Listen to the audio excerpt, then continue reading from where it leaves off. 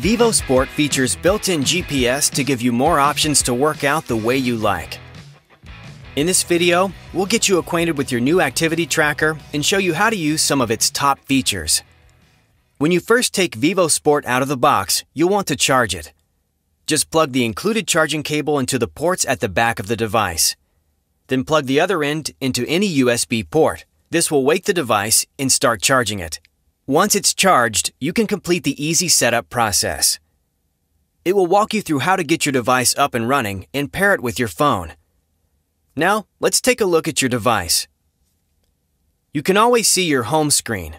From here, swipe up or down to cycle through the widget loop. This is where you can see steps, floors climbed, intensity minutes, calories burned, VIRB action camera controls, music controls, weather, smart notifications, heart rate, and stress. Tap on individual widgets to view additional information, like your last hour of stress data or yesterday's step count. From the home screen or the widget loop, simply tap and hold to bring up the menu. Swipe up or down through the menu options. GPS and indoor activities, screen auto lock, do not disturb, timers and alarms, personal stats, heart rate settings, find my phone, sync, and device settings.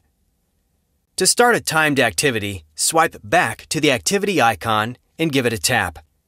Here you can choose from walk, run, bike, cardio, strength, or other. Tap to make your choice. Some activities give you a choice whether you want to do them outside or inside. If you choose Inside, the GPS on your device will be turned off.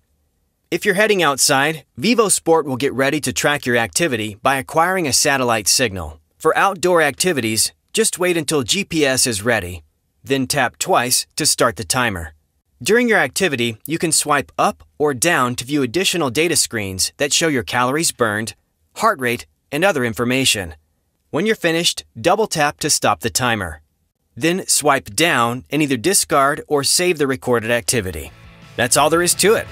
Thanks for watching. To learn more about vívosport, check out the other videos in this series.